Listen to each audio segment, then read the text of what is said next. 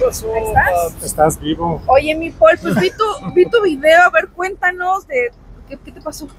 Es que, a ver, yo soy al- alérgico a los camarones crudos Ok.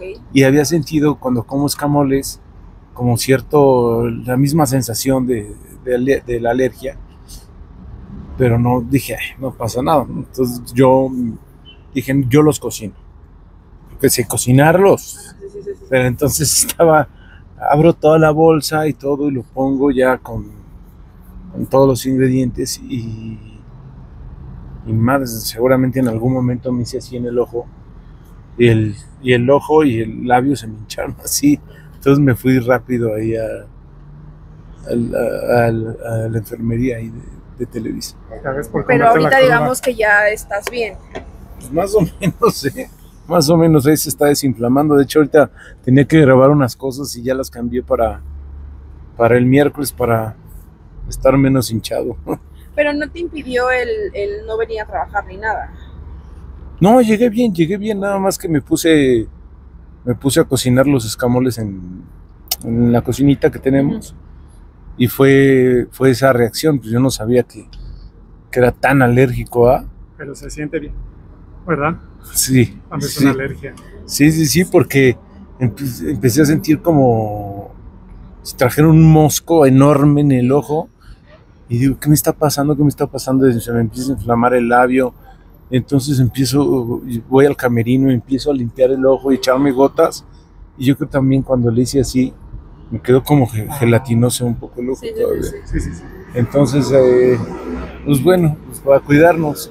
Oye, pero estás vivo, digo, es muy, es muy complicado cuando eres alérgico, se te pueden este, cerrar las vías respiratorias y demás. Sí, no, no, me pusieron oxígeno, este, avapena y otro medicamento, eh, y ya me tuvieron en observación, por eso ya no pude salir al programa y, y a descansar.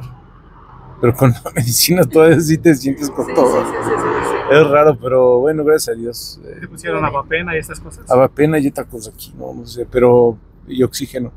Pero bueno, todo, todo, todo bien. Aprendiste. Pues sí, Pues ya, sí. alérgico a los escamoles.